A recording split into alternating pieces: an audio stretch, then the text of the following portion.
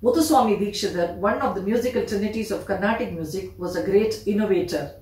With his vast knowledge of Western and Hindustani music system, he infused fresh ideas into Carnatic music system.